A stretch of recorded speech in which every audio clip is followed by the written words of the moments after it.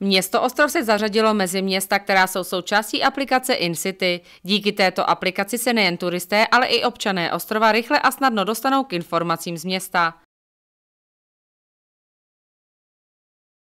Získávat podrobné informace z ostrova mohou občané i návštěvníci od června letošního roku.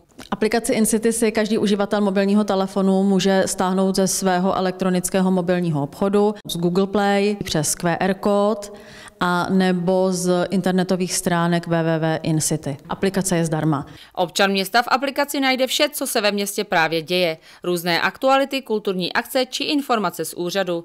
Vidí zde i úřední desku, kontakty na úředníky, na jednotlivé odbory městského úřadu a jejich náplně práce. Jedním dotykem se s nimi může i spojit.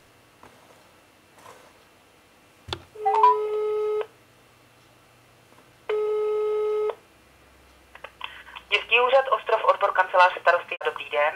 Náštěvník města, který tuto aplikaci použije, uvidí samozřejmě to samé, ale přednostně jsou mu nabízeny památky ve městě a v nejbližším okolí, otevírací hodiny a další. Aplikace využívá všechny vestavěné funkcionality telefonu, GPS modul, kalendář, fotoaparát, takže vlastně jedním dotykem zjistíte nejen, kde ta památka je, najdete si ji na mapě a současně pokud se koná nějaká akce, tak jedním dotykem si ji lze zapsat do kalendáře v telefonu. Aplikaci mohou využít po zaregistrování i podnikatelé. Organizace, to znamená restauratéři, majitelé hotelů, ubytovacích kapacit, provozovatelé sportovišť, eh, různých zájmových aktivit nebo třeba hlídání dětí, různých baby center, mají možnost se do aplikace zařadit a tím nabídnout své služby a informovat občany o jejich novinkách. Vše je adresné. Informace chodí skutečně jen těm, kteří se k ním zaregistrují a přihlásí. Všechna data a informace v aplikaci jsou průběžně aktualizována. Stejným způsobem lze procházet více než 40 měst z celé České republiky.